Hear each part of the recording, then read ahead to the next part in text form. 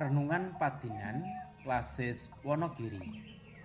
Selasa Kliwon 24 Mei Kalewu Kalelikur Kandharaken dening Pendeta Sumardiono GKJ Gili Kinase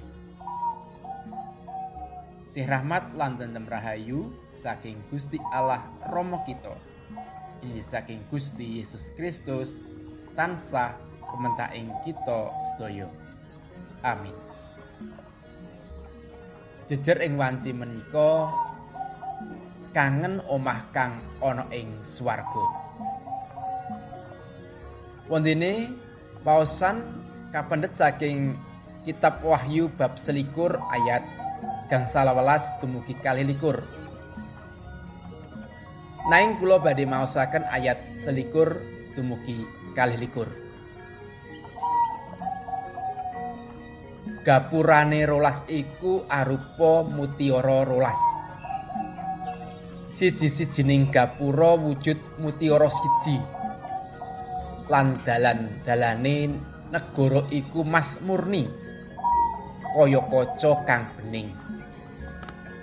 Lan ana ing kono iku aku ora weruh padaleman suci. Amarga pangeran Allah Gusti kang mekwaos iku padaleman suci. Mengkono uga sang cempe. Ingkang rahayu kulan panjenengan ingkang mirengaken sabda Gusti lan tansah dipun gatosaken. Haleluya. Amin. Bapak lan Ibu, eyang kakung lan puti, para muda-mudi lan anak-anakku kabeh, Pripun kabaripun? Mugi sami tansah etes, sehat, lan sampun kesupen. Ati kedah ing kahanan bunga. Sanadyan gesang ing jagat boten uwal saking panandang.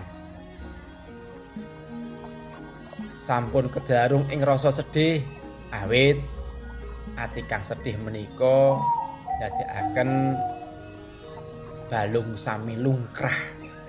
Nyambut damel mboten sekeca mekaten ugi nalikanipun nedha lan ngunjuk.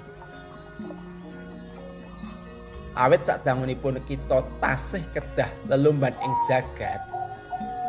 Ateges kita kaagem dados sarana kamulyaning Allah. Emut menika kedah tansah kita cepengi. Kanthi catetan kita gesang ing kang meranani Gusti. Menawi tasih wonten ing kang kedalarum ing dosa, enggal mratobat. Monggo kita tansah lumaku ing margining kasucen supados pantes gesang ing omah kang ana ing swarga. Kados ingkang sinerat ing kidung pasamuan Jawi 300 sangang dosa wolu. Aku kangen mring omahku. Semoga kita kitungaken saperangan ukoronipun. Aku kangen mring omahku. Omahku kang ana ing swarga. Ing panggonane para suci. kang aputih busananira lan saklajengipun Nah saking kidung menika nggambaraken kados pundi anggen kita pengin manunggal jati kalian Gusti ingkang Maha Suci. Dalem ing swarga menika kagambaraken endah sanget boten wonten tandingipun. Awit kasampurnan ingkang pinanggi saking ukuran tembokipun pondasinipun marginipun gapuranipun sedaya sarwa endah lan sampurna.